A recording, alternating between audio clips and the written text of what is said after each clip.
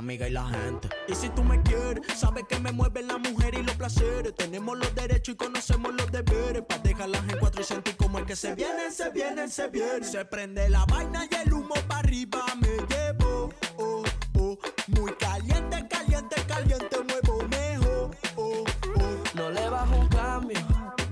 Voy todo poseído y hago con alcohol y me pongo sabio. El pidiéndome por favor que le baje un cambio.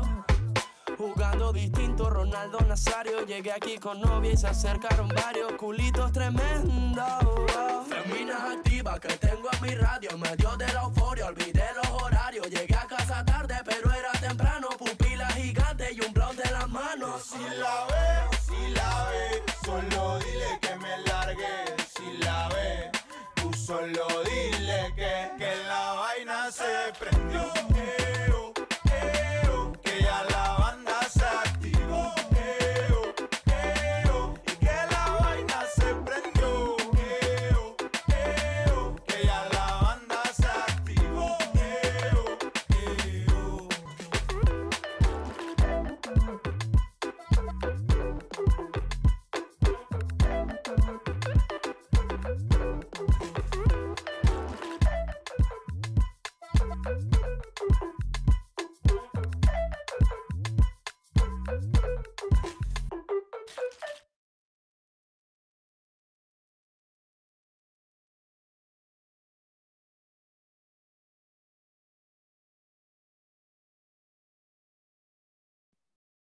Um, welcome, everyone. Diego, if you want to start us off with interpretation, um, we can jump right in.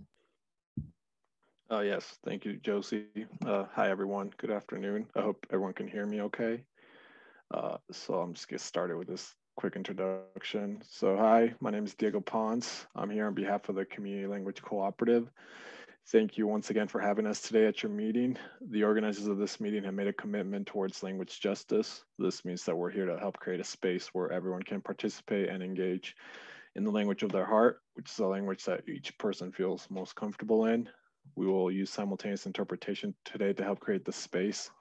When I finish saying the statement in English, I'll repeat it in Spanish. After this, we'll turn on the interpretation. And at that point, you'll be able to see a globe icon that says interpretation there in the bottom right-hand corner of your screen, probably next to your reactions button. Uh, don't worry because the interpretation is not turned on yet. If you are joining this meeting through your cell phone or your tablet, please look for the more button or the three dots button in order to select your language. If you are not fully bilingual, we ask that you please select your preferred language. Uh, if you are bilingual, then please just feel free to listen to everyone in their original language. Uh, if everyone could please help me out, and if someone like joins the meeting at a later time, like after we've turned on the interpretation, please remind everyone just to check the chat box and I'll drop the instructions there, just because at that point, people who are not selected to a language channel won't be able to hear me, the interpreter. So help me out with that if you could, and I'd appreciate it. Uh, buenas tardes a todos. Mi nombre es Diego Pons y estoy aquí de parte de la Cooperativa de Justicia del Lenguaje. Uh, muchas gracias por invitarnos otra vez a ser parte de su reunión. Los organizadores de esta reunión se han comprometido a servir la justicia del lenguaje. Uh, lo que eso significa es que queremos crear un espacio donde todos puedan participar e involucrarse en el idioma de su corazón, que es el idioma en el que todas las personas se sientan más cómodas. Vamos a usar la interpretación simultánea hoy para poder crear este espacio. Cuando yo termine de decir esto, vamos a activar la interpretación y en ese momento usted va a poder ver un icono de un globo terrestre ahí abajo en la derecha de su pantalla al lado del botón de las reacciones. Uh, no se preocupen porque aún no está aprendida la interpretación. Si usted está asistiendo a esta reunión en su celular o en su tableta, por favor busque la opción que dice More, que quiere decir más, o el botón de tres puntos, probablemente ahí arriba en la derecha de su pantalla, para poder seleccionar su idioma en ese momento. Uh, si usted no es completamente bilingüe, le pedimos que por favor seleccione su idioma preferido. Y si usted sí es bilingüe, por favor escucha a todos en su idioma original Y si alguien llega a unirse a la reunión luego de que yo dé esta introducción, por favor háganles acordar de que chequeen el chat donde yo puedo poner las instrucciones para poner la interpretación. Uh, muchas gracias. Okay, great. So interpretation is enabled, so you can select your language now. Um, welcome, everyone. Thank you for joining us for Undocu Queer Art, a fireside conversation, the second of four events in Homoland Security, Come In Girl, a programming series featuring queer and undocumented artists in art making. My name is Josephine Heston, and I'm the program's associate at CUE. Before I introduce the event organizers, I have a few housekeeping notes. Live captions are available in English tonight. If you click on the CC closed caption button at the bottom of your screen and select show, show subtitles, you'll be able to view them. You can also elect to view a, a transcript from that same menu that will show you more of the conversation at one time.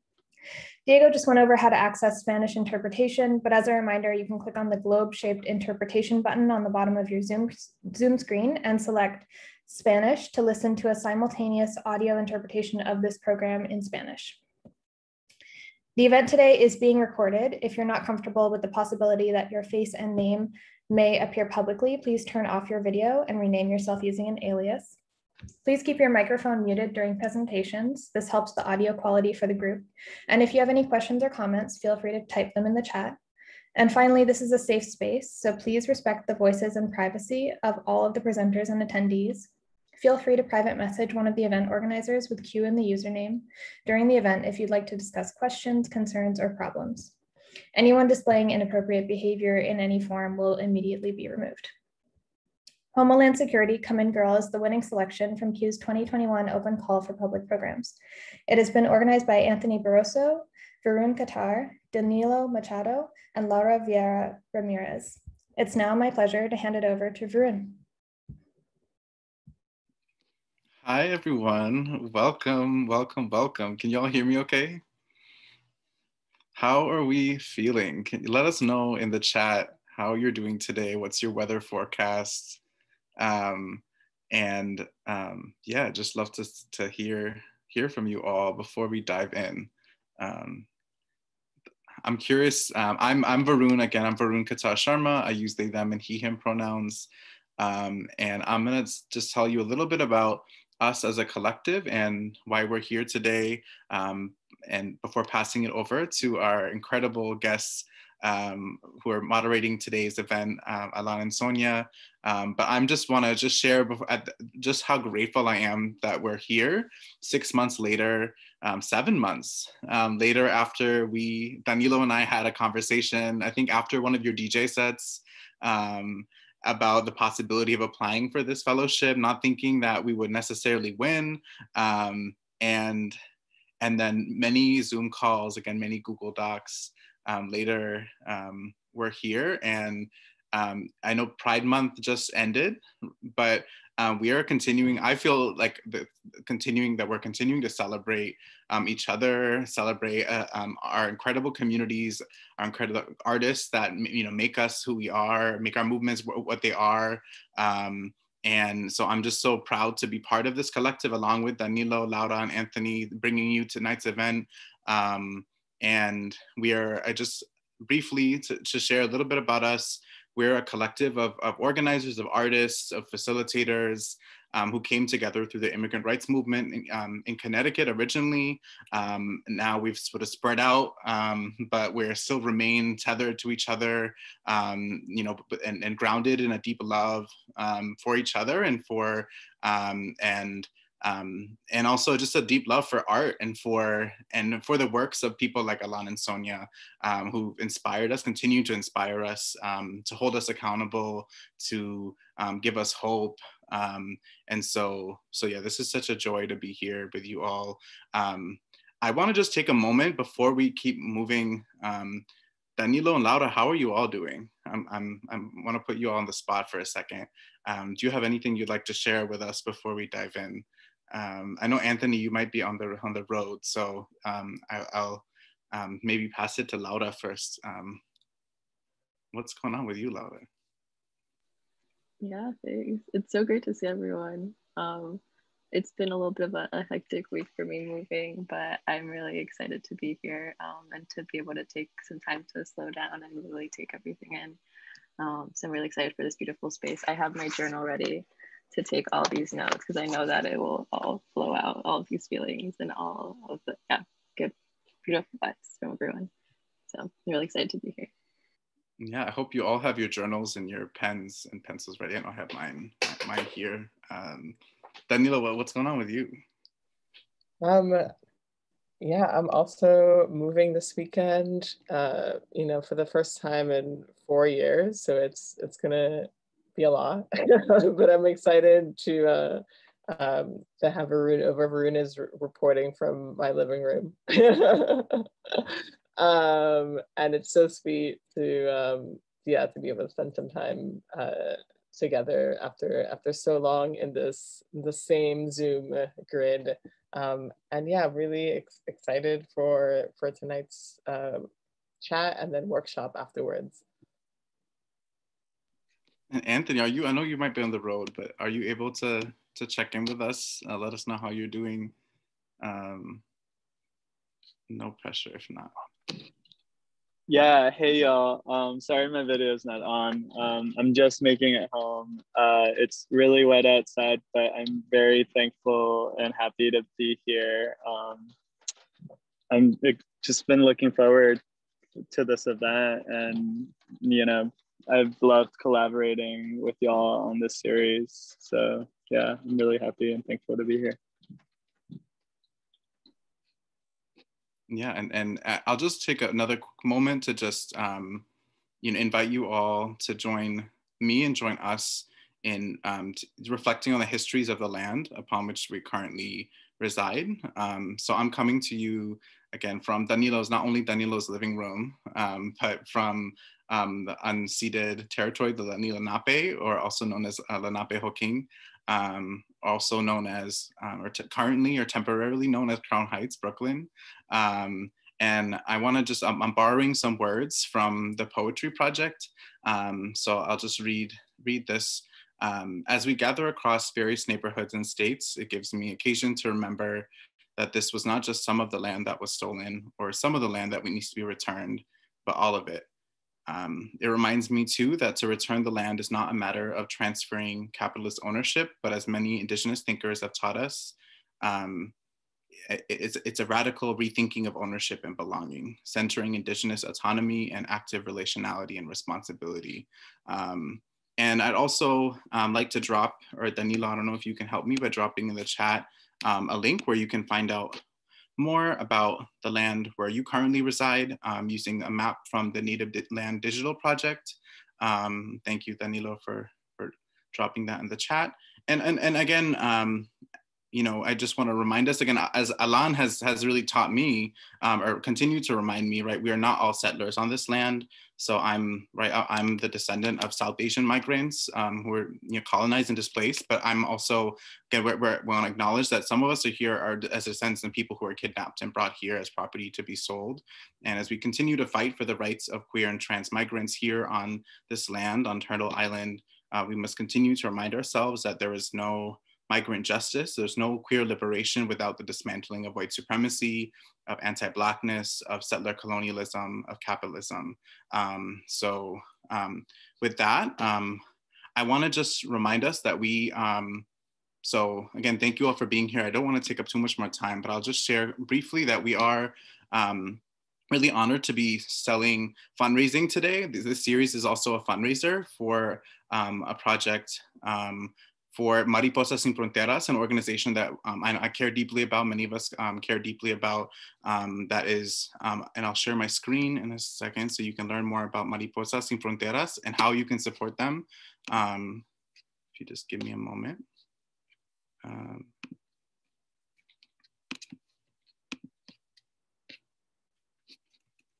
So Mariposas Sin Fronteras is an organization based in Tucson, Arizona that seeks to end the systemic violence and abuse of LGBTQ people held in prison and immigration detention. Um, so they envision a society where they no longer find solutions in the system of immigration detention or the prison industrial complex. Um, and so we are really excited to be offering um, selling selling these posters that are beautiful remix of the original poster that inspired the name of the series from Julio Salgado.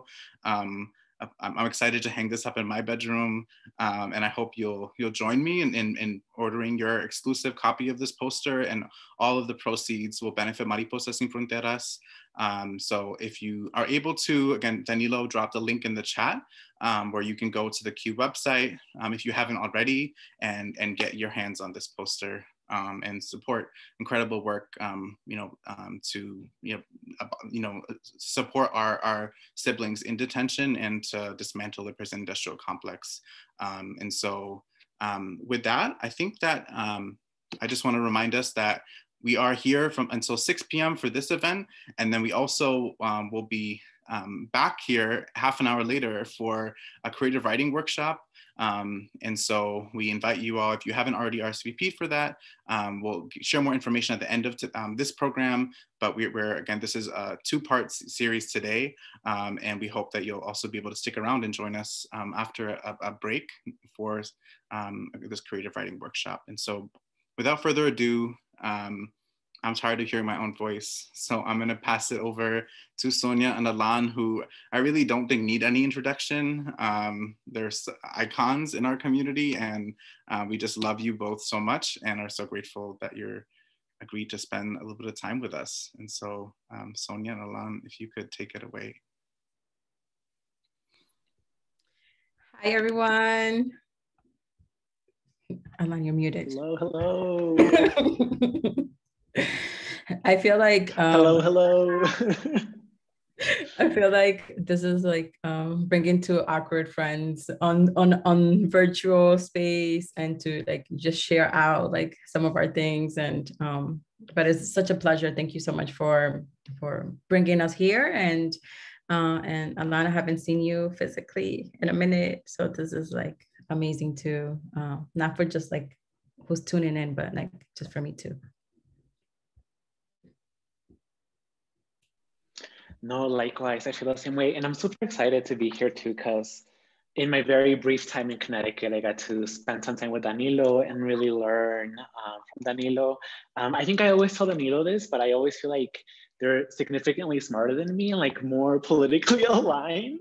So I'm like, oh my goodness, of course I'll come to an event that they're like co-organizing. so um, as as much as you know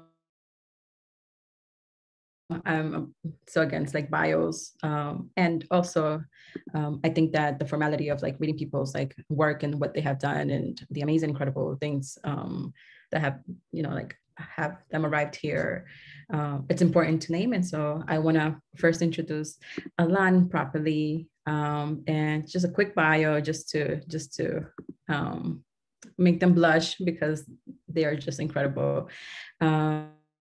Is an Afro-Indigenous poet, installation and adornment artist from Oaxaca, Mexico. Their work attends to the quotation realities of undocumented migrants in the United States, the Black condition in Latin America, and the intimate kinships units that trans and non-binary people build in the face of violence.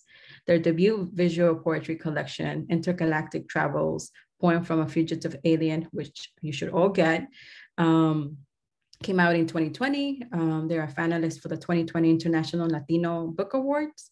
They're also the author of the chapbook To Love and Mourn in the Age of Displacement. So you should also get that if you're able to. Um, while they're an artist, Alan has also been an organizer with undocumented migrants in the United States for over 10 years and firmly believes that art is a portal into the future. But which future? That depends on the artist and the ideologies that moves them. You can read Alan's writing on Teen Vogue, the Andy Warhol Museum, Everyday Feminism, Poetry Magazine, and so many, many, many other um, platforms that have had the pleasure of having their work. Um, and just to give you a heads up, we're introducing ourselves and we are gonna be sharing some poetry. So Alan, please bless us with um, your poetry. Thank you so much, Sonia. Um, so in thinking of what to read for today, I was originally going to read these like future stories. Um, I am no longer going to do that um, because I realized that we're in August. I mean, we're almost into August and it'll be at two years next month since the assassination of Carmela Parral Santos, who uh, was an Afro-Indigenous um, leader in Oaxaca and was murdered by the government after opposing a massive proposal to uh, deforestate 13 indigenous communities in the country. Um, so I'll read this poem and it's titled Chicatanas for Mourning, a recipe. Um, chicatanas are flying ants that we eat in Oaxaca um, and I'll read the poem. Ingredients. The strength of five generations of ancestors. Two dozen roasted chicatanas. Two roasted garlic cloves. A love for all things black. Two white candles. A cup of dry black beans. Four tree chilies. Quarter of a roasted onion. Two adobe bricks a commitment to indigenous life everywhere, eight roasted coastal chili peppers, water or tears, salt, no salt if using tears, Carmela Parral's photograph, and freshly picked mint, cooking instructions. Open Twitter and search Ni Una Menos, and you will encounter one of the many afterlives of colonialism in the Americas. Most recently, Carmela Parral. Reader, please search her name and print her photo.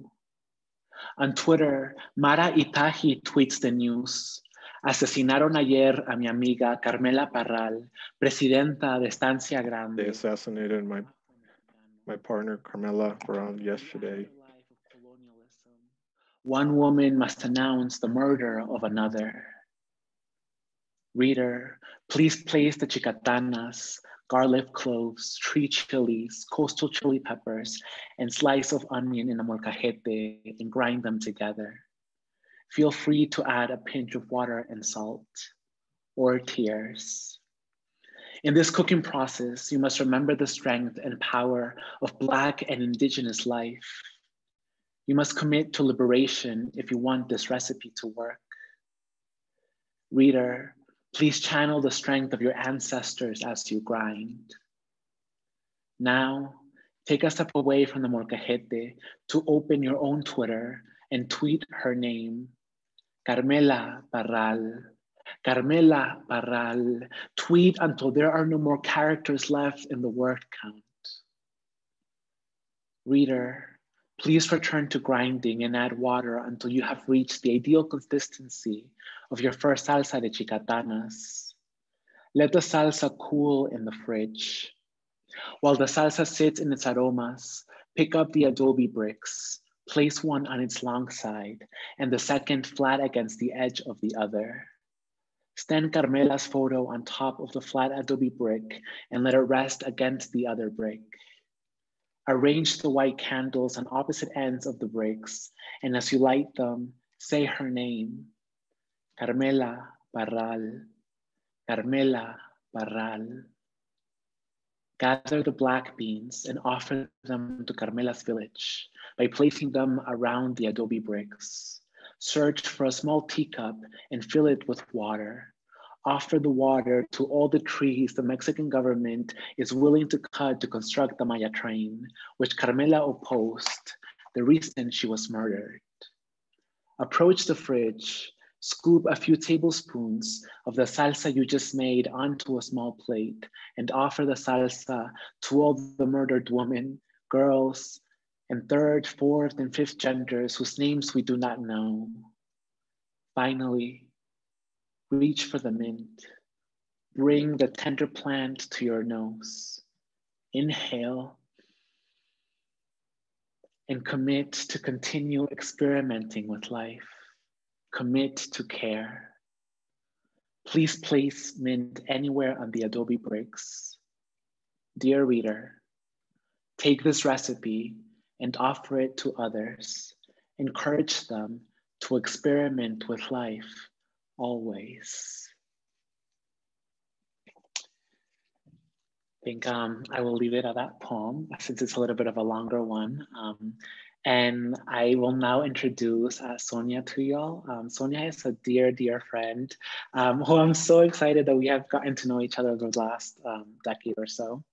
Uh, Sonia Guiñansaca is an international award-winning poet and cultural strategist. They emerged as a national leader in the migrant artistic and political organizing communities where they coordinated and participated in groundbreaking civil disobedience actions Guiñansaca helped build some of the largest undocumented organizations in the US, including co-founding some of the first artistic projects by and for undocumented writers and artists. For over a decade, they have worked in both policy and cultural efforts, building infrastructure for migrant artists. Their migration and cultural equity work has taken them to London and Mexico City to adv uh, advise on migrant policy and art projects. They self-published Nostalgia and Borders in 2016. Their writing has been featured on Colonize This anthology and This Is Not a Gun. They are co-editing the forthcoming anthology, Somewhere We Are Human. Guiñansaca is currently a Creative Time Think Tank Fellow, National Advisory Board member of the Laundromat Project in New York City, and a consultant to national social justice organizations, culture institutions, and foundations. But their full-time job is getting their publishing company, House of Alegria, off the grounds. And now I'll give it up to Sonia. Thank you. Oh, Alan, that poem, I'm just like, Thank laughing at the comments, uh, somebody said, um, Danilo doesn't need an ego boost or need, but like just incredible, so much gratitude to the organizers who like allowed us to be in this space today. So um, thank you. I'm gonna, the pandemic has um, given me space to just like sit with a lot of things and process a lot of hurt. Um, and so I just wanted to read this poem I had written. Um, yeah, as I'm making sense of like of all the things that are happening. Um, yeah, it's called um, Gutted uh, 2020. So we'll do that. One. Split January in two. Somewhere between London and Joshua Tree, I was gutted fish in both places, crossing bridges, trying to hold my insides together. Hearts have fallen onto the river Thames. Livers have snuck between two boulders in Yucca Valley. Cut down from the jawbone, open, I feel pain below the throat. Often, fishermen remove guts with hands. Like baptism, they wash out the gut cavity with water. Like autopsy, they wash out the gut cavity with water, getting rid of blood and organs. Do we call this holiness, grieving, or death? I grip onto my belly button. Everything still gushes out a liver, a non disclosure, a bruised heart, and poems. I place right hand, which carries a flower tattoo over my belly. Is this how we adorn the hurt too? How do we split a Gemini in two? In that end, Gemini translates to twins. There's already two of me. So what broke me further? What is this pain? The pain equals to two pains, two heartaches, two endings, three. In Greek mythology, Geminis are two siblings called Castor and Pollux. One brother during his death asks to live immortally next to his twin. Or was it one brother asking Zeus to let ungodlike brother who died come up to heaven with them? Tragic. Everyone disagrees on the ending.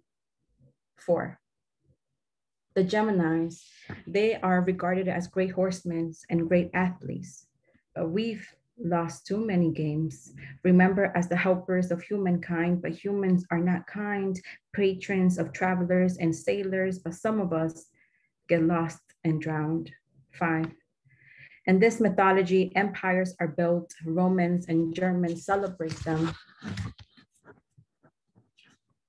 Cults of Castor exist in the fifth century. Christianity adopts them in their own biblical storytelling. None of this is sacred. Castor and Pollux replaced by St. Peter's and Paul. All of this makes me giggle. Six, there's nothing glorious about being a gutted fish.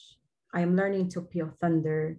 So let me be deity. Let me be Inti. I want to be horseman, go in battle and survive. I want to be Castor and Pollux, brave and immortal, or brave and foolish, sail through oceans and not drown in memories. Seven, between drizzles of rain and desert warmth, I do not want to be gutted and tender, not open and rotting. The constellation of a Gemini contains 85 stars. A star's life begins with gravitational collapse. God, I've collapsed 1,000 times unto the underworld, praying to be uncut, stitched up, guts intact.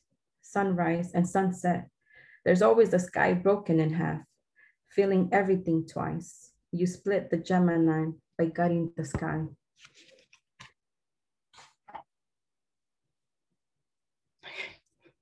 I feel like I haven't read poetry out loud in a minute. So, um, yeah. um, so thank you everyone for um, for joining us here. One of the things that we wanted to do with this um, with this like talk between a fireside chat, which is not really like a fireside chat because there's no fire. Um, but we wanted to uplift the I feel like oftentimes when we're talking about our craft or like about our artistry, um, there's like this push to leave out the community or the ecosystem that we come from. And we wanted to like frame it and just like um, and ground like our artistry and how we came about um, in, in the ecosystem that nurtured us and nourished us. And so uh, we have a few slides uh, and then we have questions that Alan and I will ask each other and then we'll open it up for like a larger conversation uh, if people have questions. But thank you for sharing the slides, uh, the tech person. Um, may we go to the next slide. So um, one of the people that I really want, we really wanted us to like talk about is Edwidge Danticat, who is a Haitian uh, novelist, uh, children's book author, essayist, um, and sometimes journalist. Uh, they uh, Danticat has said that she's not a journalist, but she does sometimes publish um, investigative journalism in newspapers. So she is kind of a journalist. Um, and the first time I ever read anything about a Black undocumented person was her 2007 book uh, titled Brother, I'm Dying, which um, chronicles the life of her uncle who came to the US from Haiti with a visa and was sent to a detention center and died um, within a week of being in detention. Um, and Edwidge Danticat uh, writes in Create Dangerously, the immigrant artist at work, that in a lot of countries, artists are the first ones to be taken by the government or disappeared by the government or murdered by the government, precisely because artists are the ones that um, push uh, communities to demand accountability, to demand change, and to um, offer visions larger than the country can offer. Um, and we have this like small quote. I guess I'll read the quote. The immigrant artist shares with all other artists the desire to interpret and possibly remake his or her own world. So, though we may not be creating as dangerously as our forebears, though we are not risking torture, beatings, execution, though exile does not threaten us into perpetual silence, still, while we are at work, bodies are littering the street somewhere. People are buried under rubble somewhere. Mass graves are being dug somewhere. Survivors are living in makeshift tent cities and refugee camps somewhere, shielding their heads from the rain, closing their eyes, covering their ears to shut out the sounds of military aid helicopters. And still, many are reading and writing quietly, quietly. Um, and it's this idea of quietness that we want to talk about. Um, undocumented queer and trans writers, um, and in general, undocumented artists have always been creating.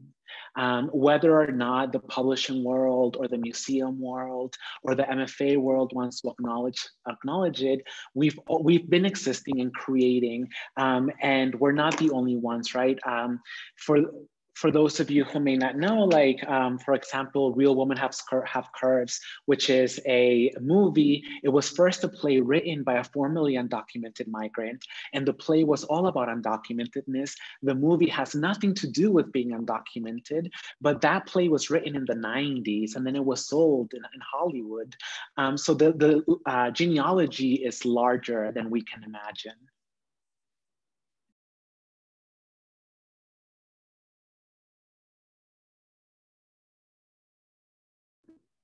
Yeah, so some, one of the things that we wanted to uplift is this uh, amazing um, diagram image uh, created by Building Movement Project. And I feel like many of, maybe some of you have seen it floating around on social media. And it's like this, this really powerful image that I think illustrates how our movements, um, yeah, shout outs to Deepa, uh, who like just created this um, visual image to to kind of uplift the roles that many of us play into like this like social change ecosystem uh, where everyone has um, a role and no role is less or more important than the other person. And i feel that when we think about um, the trajectory of like um, undocumented youth organizing or just thinking about uh, our community organizing in migrant spaces uh, artists have always been present um, and I think that when we're thinking about undocumented writers, um, one of the things is that many of us um, met like 2009, 2010, like we've been around um, and in pocket holes as organizers or um, as coordinators, uh, as people drafting policies, um, doing deep, you know, fighting deportation cases. And, and so wanted to name that, that artists and cultural workers are present, um, have always been present in our movements. And I think that um, this image really like just, it's, one of my favorites that uplifts like the roles of all of us um, and and one of that being like storytellers. Um, and another thing we wanted to uplift is that we are not coming, you know, there's a lot of um, infrastructures and support for MFA writers and like published um, uh, artists and writers. Um, but undocumented folks, undocumented artists, artists with an undocumented experience um, have been creating, uh, regardless of, and I think Alan touched this earlier, like we've been creating regardless of like if there was infrastructures or support. Uh, and many of those infrastructures are never going to be enough or are going to be the right spaces. And so we have been creating outside of the traditional um, formula of what it means to be an artist. Um, and because we're focusing on like undocumented writers, the literary space has not been, um, I think for in general, the literary space is very like white and has never made spaces for um, writers of color. And I think that um, that has been the case with like undocumented where we have had to create our own spaces, our own retreats, our own writing workshops, our own journals and zines. And regardless if, you know, it is archived somewhere, um, it, it, exists. And so we wanted to make sure that um, as we're talking and having this open conversation about our own craft, that we did not arrive here alone and that ecosystem is still thriving and still there. Um, and so many folks um, that were in, in in community with are creating beautiful multidisciplinary work that maybe doesn't have a mainstream label or is can categorize nicely and, and perfect in a box um, and, and acknowledged by many of this like established spaces because um, we don't want to be you know like acknowledged by these spaces. Like the act of us being an artist and creatives is, is our own terms uh, but yes, so feel free um, to follow the Building Movement Project. Um, and yeah.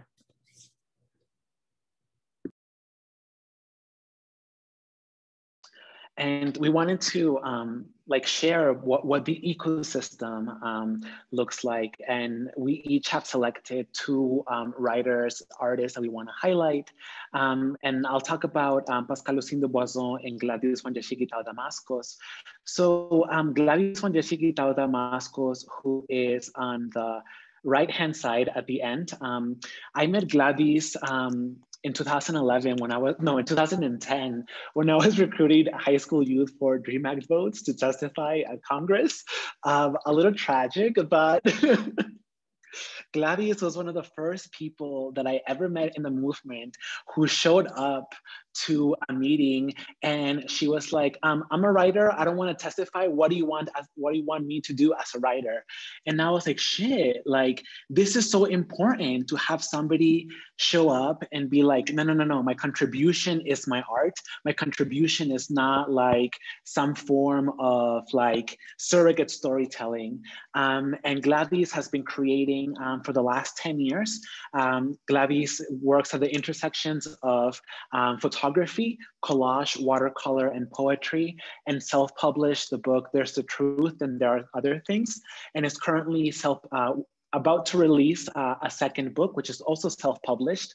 Um, and the important thing about Gladys is that Gladys um, all of her work has been in local newspapers. So um, she lives in Massachusetts and she's really invested um, in working with local media to get the stories out there of migrant communities. She's not necessarily invested um, in anything quote unquote larger or anything that's quote unquote about visibility, because for her, the material realities of the law change state by state. And as a writer, the most impact that she feels she can make is in her local state. So I think that that's a really important way in which to think about the role of the migrant artist.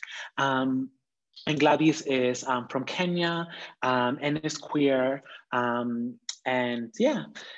And the another writer that I want to lift up is Pascal Lucien Dubuisson, who is actually um, has only been in the US for a very short time. So Pascal Lucien Dubuisson was undocumented in 10 countries before coming to the United States. Um, he was undocumented first in Brazil and then kept moving up to the uh, up to like northern countries.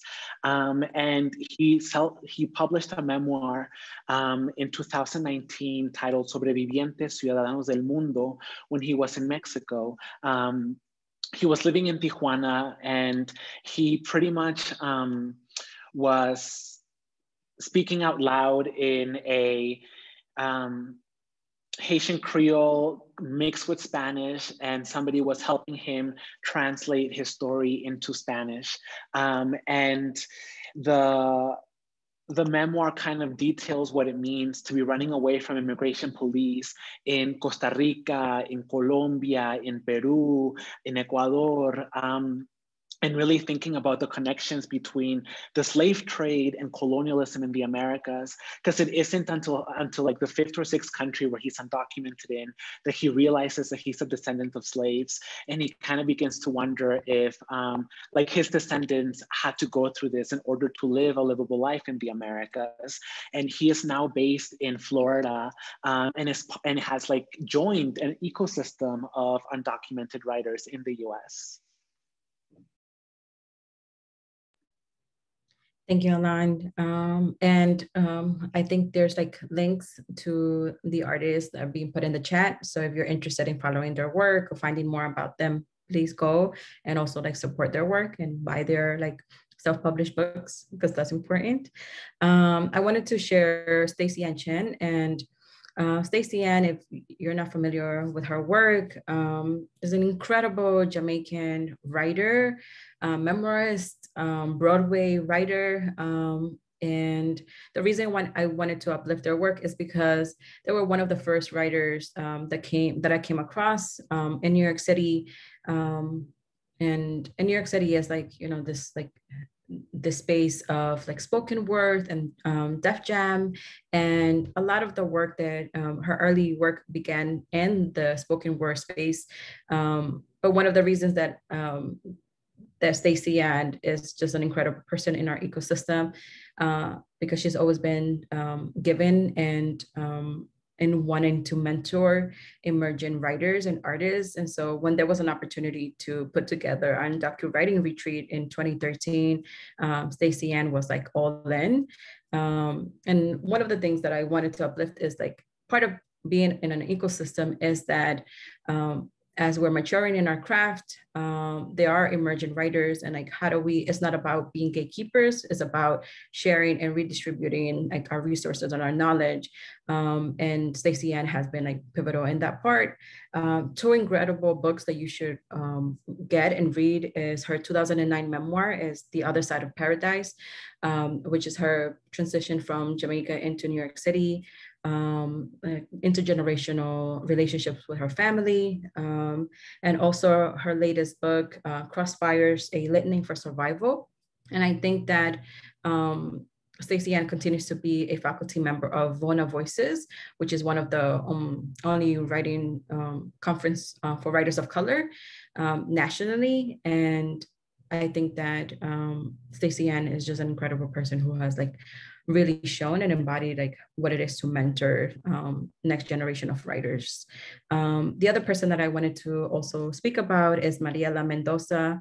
Um, they are a Salt Lake City um, multidisciplinary artist from Peru. Um, and I think that when we're thinking about writers and artists and cultural workers, and when people think about um, migrant writers, it's like um, you're supposed to only talk about migration in a specific um, way. Um, and to deviate from that is like you, you're not talking about migration.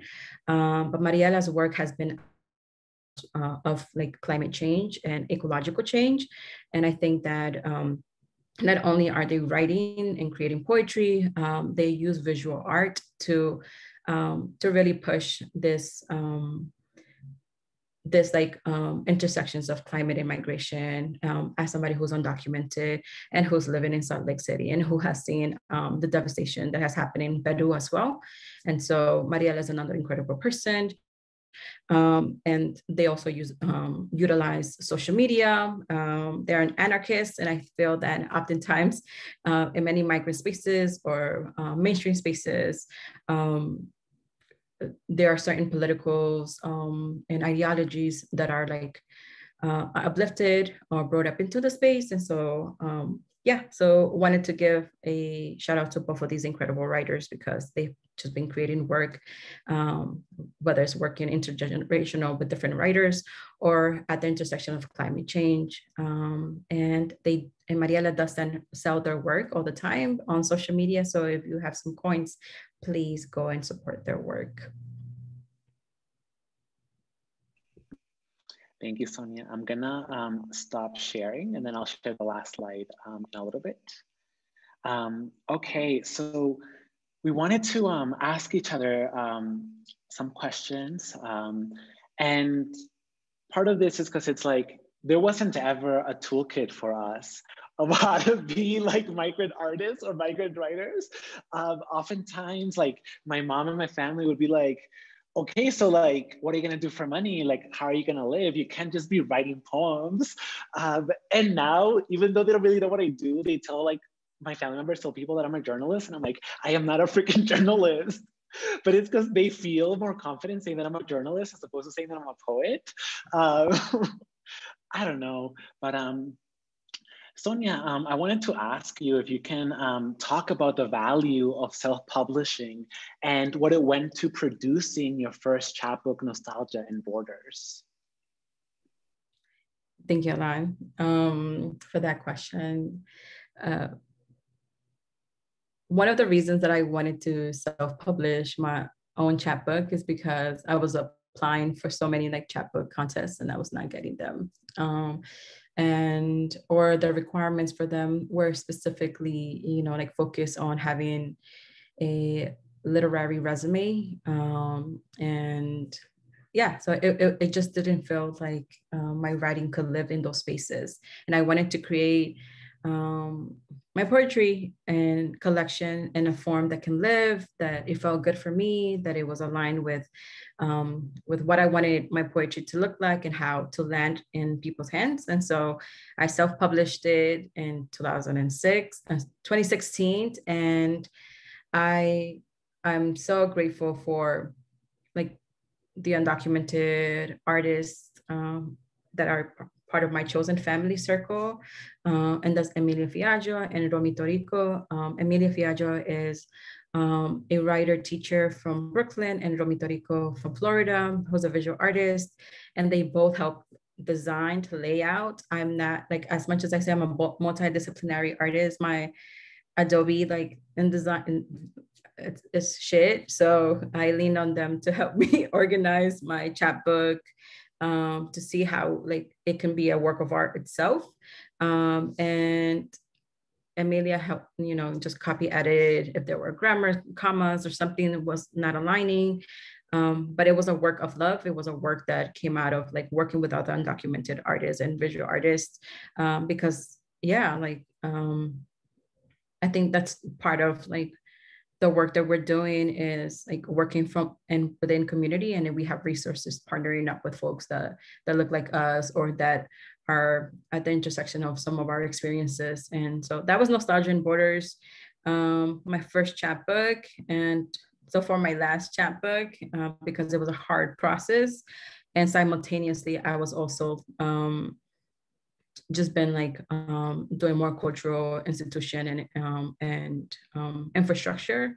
Um, but I do recommend anyone like we don't have to wait for publishing companies. We don't have to wait for anybody to give us permission to write or to put our our works out there, um, and it could look in so many different ways. Um, and I also come from a school of like self-publishing is also as valuable as a formally published book by like a big company. Like fuck that shit. Like you know we can remain with our with our rights to our writings um, and we create we can create the most wonderful books um, in-house. Like we can do that um, and we don't need no, nobody's permission.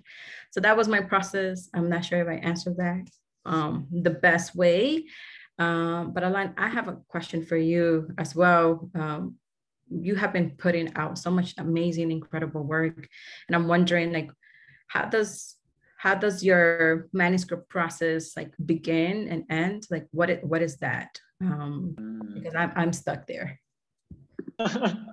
awesome, thank you. You know, um, I often say that I never know that I'm writing like anything except for like an individual poem. Um, and then I end up um, with a whole bunch of pieces in either a Google Drive or Word documents. But more, more lately than not, most of my poems are in the notes section on my phone. Um, and what I like, when I feel like I have something like that's somewhat thematically around the same thing, I print out all of the pieces and then I kind of like read through them all. And what I started to do is I tape every single poem to the wall um, because for me, it's like super visual. It's about like, could this be something? Could it be a chapbook? Could it be a book? Or could it be uh, something else? Could it be like a manifesto? And once I have everything on the wall, I feel like that motivates me to do something else because every day they're just like in my room until I figure out what they're going to be. And I'm looking at them every day. I might not be reading them every day, but just knowing that all these poems exist remind me of like, oh, yes, like you're a writer and you have a lot of work that nobody has ever seen. Um, and that's always for me the first step. And afterwards, I begin to thematize it. Um, and it's not about telling a story. I don't think that books have to tell stories. The expectation that a book has to tell a story is one for a lazy reader, two for um, like massive consumption. Like I don't want my poems to be massively consumed. I want people to like critically care for my work. And if it doesn't tell a story, for it to be as valuable as if it was telling a linear story. I think that linearity is not something, it's, it's something like super like heterosexual um, that I'm like, okay, girl, bye. Um, but it's about like okay like when i say thematizing i'm like okay some of these poems are about maybe family some of these poems are about plays some of these things are about like visions. Um, that's what i mean by theme not of like middle beginning and end. I mean you know what i mean. Um, and once I thematize them together, I begin to just like, I, I bind them. So I'll usually go to Staples or something, bind them all together. And then I'll just like carry them around in my um, tote bag everywhere I go. And whenever I feel like, oh, like I want to edit something or I feel inspired because I usually don't feel inspired to edit, but I always have them bound in a tote bag uh, so that when I'm somewhere and have the time to look at them, I can just like edit them um, there. Um, and my thing is never throw away any poems that you've revised because sometimes like the middle revision might be the best. Sometimes the final revision might like not be um, the poem you want the world to see. Sometimes the final revision is the poem that you want to see for yourself but it might be too personal. So keep another revision to remain the right uh, for people not to know certain things about your life. Um, and with this, Sonia, I also want to talk about like, um, like what advice did you wish that someone gave you when you began your career as a writer and interdisciplinary artist? I'm over here like, yes, uh, linearity is heterosexual. Um, I think the best advice I wish I could have received was that it doesn't have to look a particular way. Um, and I feel like often, still now, it is so ingrained in me. I'm like, oh, I have to be writer and look this certain way. My poetry has to look like this. It should still be, you know, like, um, and that's okay. Like sometimes I'm not a writer. Sometimes I'm just a photographer. Sometimes I'm just thinking about like sustainability and clothing. Um, or sometimes I'm just resting, and I think that that's okay. Um, and taking a pauses or shifting a little bit from like a specific medium um it's okay. Like we can still be existing as writers or artists as whatever medium you know we lean on. And i think that um for me the unnamed genre or the unnamed medium that i may be like leaning on right now um even though it might be unnamed that is still valid and still exists um, so that's like one advice i wish like other folks would have um, uh, pushed on me like it's okay to to be a writer in whatever format in whatever way. Um, and yeah so if you want to pick up you know being a memoirist go. If you want to crochet like do it. Like that's okay. That doesn't take away from you being a writer. And so um yeah. And alan your last the last question that i have for you is how do you nurture your creative muscles? Um, I feel that um, I, I want to know how are you nurturing your creative muscles? Absolutely. So um, I was never the kind of girl that was into music. Um, I started listening to music in 2016. Literally, prior to 2016, the only music I listened to was the CD collection my mom had that I put onto my laptop before I moved to California. So that's the only music I would ever listen to. And now I feel like music is the thing that saves me. I can literally um, listen to, to music and feel like life has been resurrected in me. Um, right now, Mabiland, who is a queer Afro-Colombian singer, um, she she released her latest um, album last week, and oh my goodness, it is so fucking good. Um, she's actually gonna be um, like two miles away from where I live right now next week, so I'm gonna go uh, try to interview her. Um, but music has um, been incredible for me, as well as like short films. I can sit through like a full movie. I get really bored, but short films, I think um, they're so concise. And there's something about um, the ability of a, a writer to get so much across when all they have is 15 minutes on screen, right? I learn a lot about dialogue in those moments because it's like you can't like have casual conversations on film, right? Like nobody fucking wants to see that on a screen unless it's integral to the storyline. And I think that the more short films I watch, the more concise my poetry is. Because um, that's what I used to struggle with. I used to have these really long poems that I always felt could be split up into three different poems, but I didn't know how to actually revise them until I started watching short films. Thank you, Alan. Um, one person told me once um, uh, I did something similar, like just write pages and pages, and they're like, um, it's this place of like, do you think this is your last poem?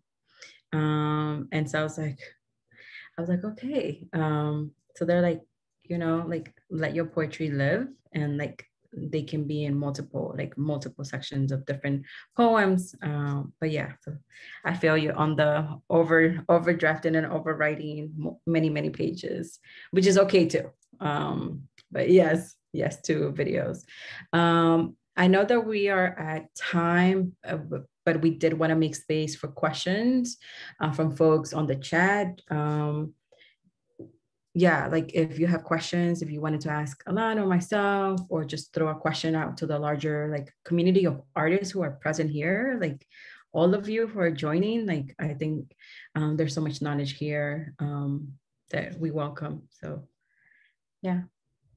And thank you for the chat um, links. I'm gonna go listen to the Spotify list.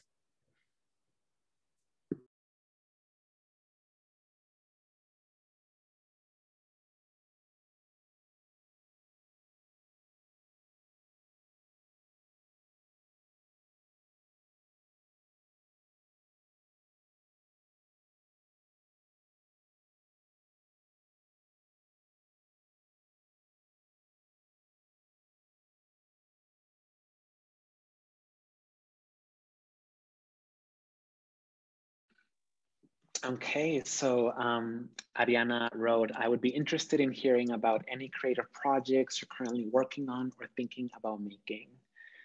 Sonia, would you like to go first? I'm like you. Um,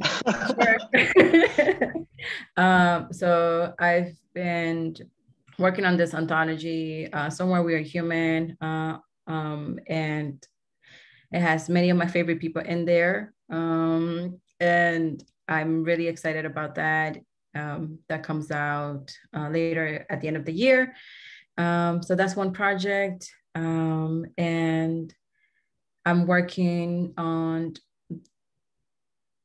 this installation um, around grief um, and yeah, um, and it's gonna be in the hills of like Malibu, um, which if you're in California or in the LA area, and um, well, backstory to this is that um, during the pandemic, I've lost many like um, folks um, to COVID, and so I feel like there's been as much as we've been inside and and socially distancing like there hasn't been a moment to like really process all the things and top of all the things. And so um, i was asked to do some type of an installation um, in this jewish um, space uh, facility that got burned down in the 2018 wildfires.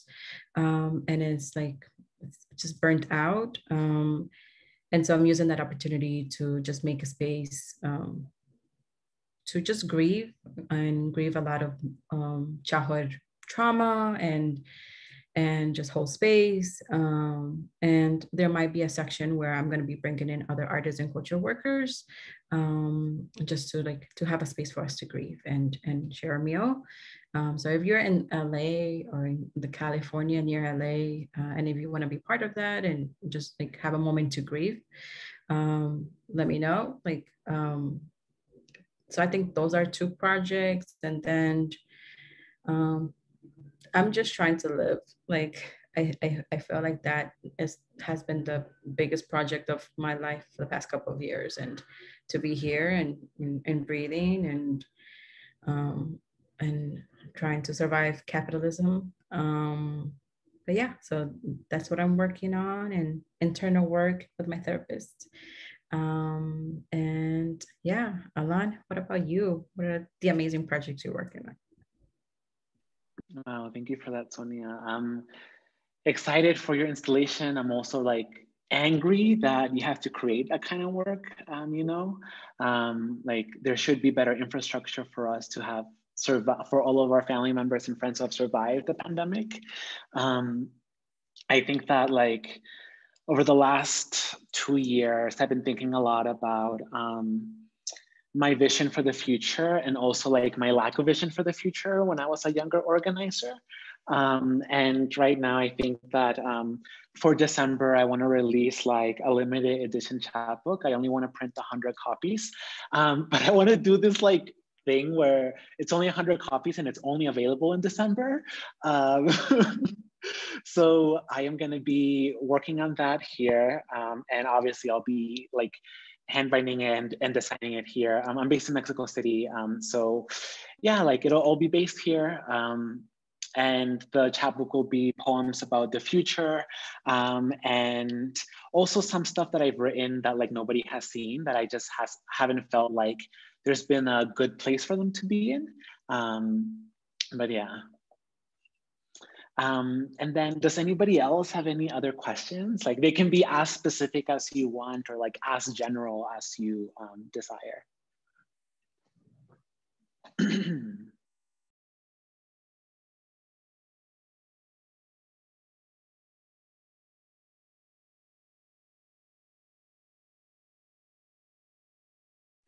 Oh my goodness. Know the answer too.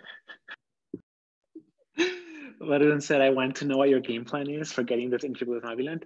You know what? I'm just like, today and tomorrow, I'm going to be pitching to a whole bunch of magazines and interview. And once they say yes, I can like reach out to her um, PR team. And if they do not reach out, she does have a really small concert here. I think the venue like can hold 50 people. Um, I did get a, I did get two tickets for it. Um, so I'm gonna make sure to just like, if they don't reach out, I'm gonna just get there really early and leave as late as I need to until like be like, hey, let me interview tomorrow. so that's the plan so far.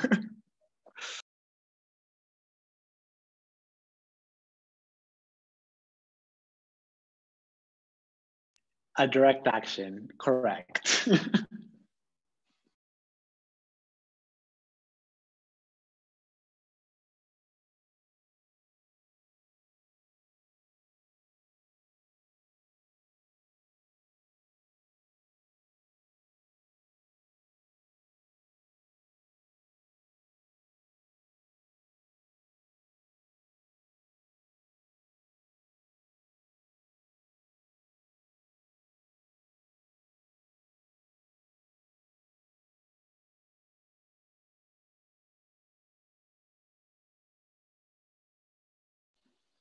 I love the awkward silence. So, you know. um, but Laura, yes. We can I mean we can definitely sit in the awkward silence. I'm happy, definitely happy to sit in here with y'all. Um, but I know that yeah, thanks y'all for being so generous with your time and for giving us such a gift of your presence and your words um, and your existence here. Um, I think there is a oh yeah, there's some things um, you're sharing. Yeah, we could get some like some gratitude in the chat, um, some favorite parts. Uh, go ahead and you can start throwing that in the chat now. Um, but I do want to make sure that we do get a break um, before the next event at 6.30. And I think we had a few just closing slides um, to present. And again, we can send, let me send also uh, a reminder to also send, send love in the chat, but also you can send love through buying uh, Alan and Sonia's work. Uh, so here is Sonia's chat book again. Um, and then Alan's books. Let me send in the chat. Yeah, send love in any way that you can. Um, and do we have a few more slides? Just for advertising our future events. I'm not sure who is, is screen sharing. Awesome.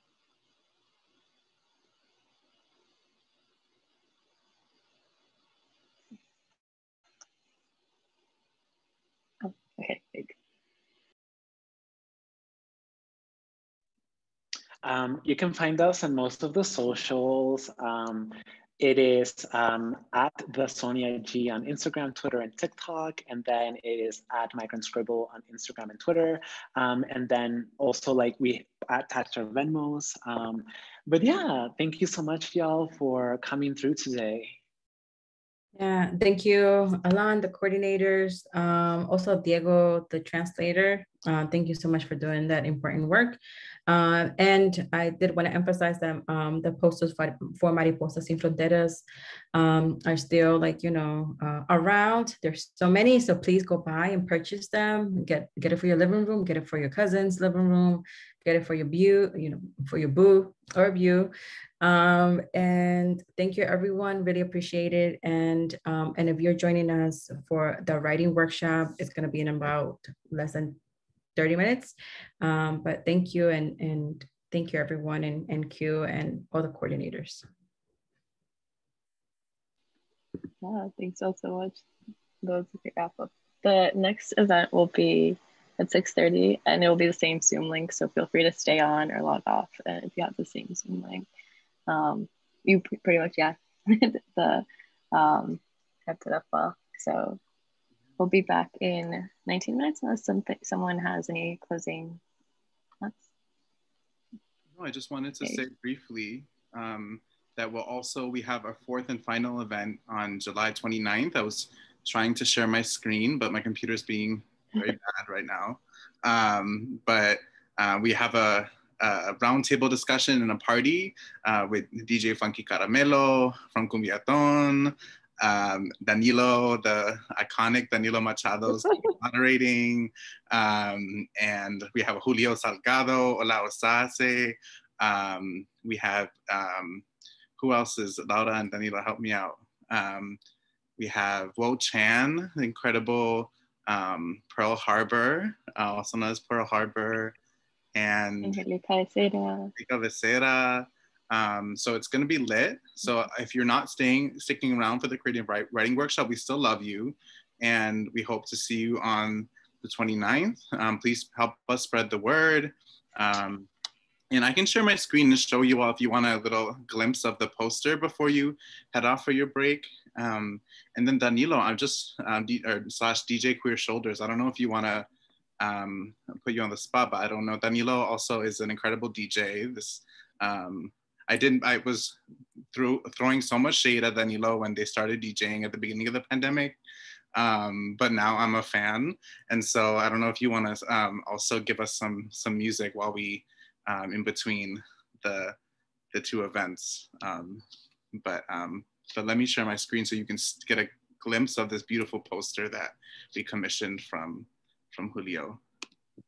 Um, I'm actually I'm I'm uh, I'm gonna play some of Alan's rec. I'm like very excited to hear to have a new artist to listen to. So I'm gonna play that. Yeah, but just so you all can see, this is a beautiful poster. Um, so I hope you're if and Daniel, I don't know if you can drop the link. I know you're multitasking, but if you could drop the link again where you can order your own copy of this to, again, um, as Sonia mentioned, get for you yourself or for your boo. Um, I can't think of a better gift. So I just need to find a boo that I can get it for. All right, I'll stop being messy. Daniela will take it away.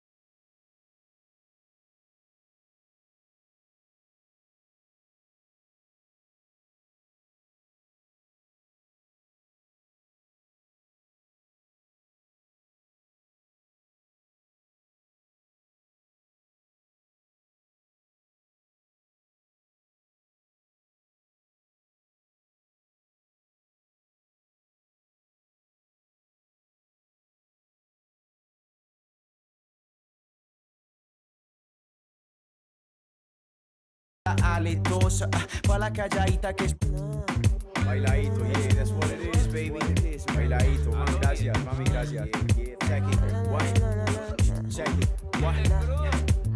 Problemas tengo un pocotón, pocotón, pero por bacán, nunca por bocón, no, no, no. uh. Yo no coopero con la popo, me quieren dar el tumbe por encender el copo, están locos, eh, que estilito, que chimbita. Yo tengo lumbre pa' que derrita, es come bonito.